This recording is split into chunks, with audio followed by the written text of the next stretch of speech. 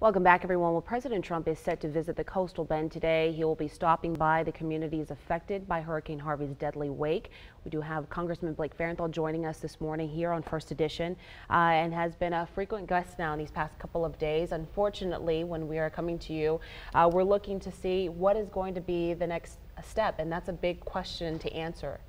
Well, you getting President Trump down here, I think, is important because it's going to let him see with his own eyes the devastation we've suffered what I'm afraid is going to happen with Houston in the headlines and all the dramatic rescues, mm -hmm. uh, you know, the damaged areas we have, specifically Port Aransas, Aransas Pass, Rockport, uh, are already starting to fall off the national radar. But right. President Trump's a builder. He'll understand uh, the devastation that we face. And uh, we, we want to be uh, top of mind uh, when we're asking for things for the federal government. There's stuff we still need now from the federal government.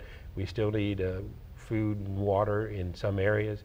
We've got to get the Army Corps of Engineers back into the port to uh, survey it to make sure it's safe so we can get the ships going mm -hmm. and the refineries running again. Definitely. I saw something about 10% of our oil production right now is uh, being shut down. Those those refineries are shut down. How is that expected to impact us these next Well, if months? they get back online soon, it won't be a serious impact. But if there's a delays in getting it on, we're going to see increased gasoline prices at the pump. What have your conversations been like with folks there at the White House and just other um, uh, federal officials?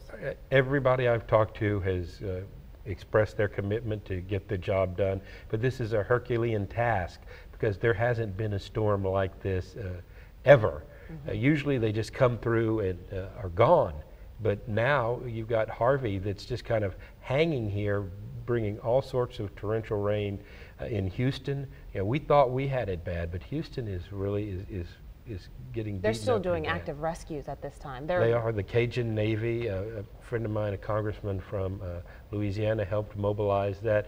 Uh, they brought hundreds of boats in from Louisiana to help people. It, it's a it's a bad situation. Another headline that's making rounds this morning has been, what about insurance coverage? Can you speak a little bit about that and what people can expect? What message do you have for folks? Well, it, it's time to start filing your insurance claims. If you don't have insurance or you're uh, in need of emergency help from FEMA, uh, they're there. They can provide hotel vouchers for you uh, for the short term, and then in the long term, look to getting you into uh, rental properties. And things are really opening up now. You, we used to have the day of the FEMA trailer. Uh, now they do sometimes offer manufactured housing, but they're opening up to uh, hotel vouchers or uh, Airbnb. So there are all sorts of options for you, and it's disasterrecovery.gov is the website you can go to uh, to uh, get in line because uh, these counties, most of the counties in the viewing area have been declared federal disaster area. That individual assistance is available uh, for FEMA. So you've got, you know, we ought to be able to get a roof over your head in very short order. All right, disasterrecovery.org is where you. .gov. .gov. You're right. .gov disasterrecovery.gov. That's where uh, we're going to be uh, posting that also on our social media. For if it's not already there, I'm sure it is. Uh, we have a great media team that's yep. been behind us, um, and also. There's there any talks on once things get back to normal, any legislation that might be you think might be talked about now with hurricane insurance, and then also just uh, relief efforts?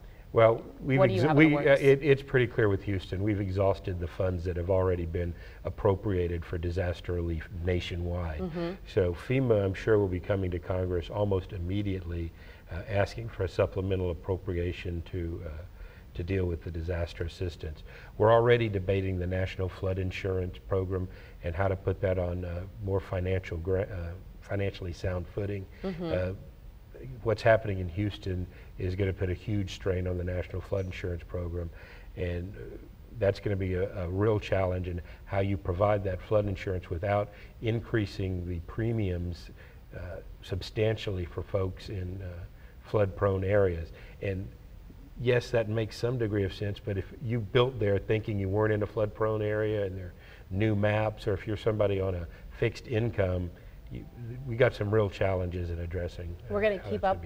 We're going to keep up with you and Congress with uh, the work that you have ahead. That's a lot, and we do appreciate your time being here to speak with us one on one because we do know you have a very busy agenda, especially with the president uh, making an arrival here Will you be meeting up with him uh, specifically? That's the plan. They've told us to be flexible in okay. uh, the schedule today. I don't know if you followed the president, but he's usually late. All right. Well, so am I. Here we go. Thank you so much, Congressman, for being here.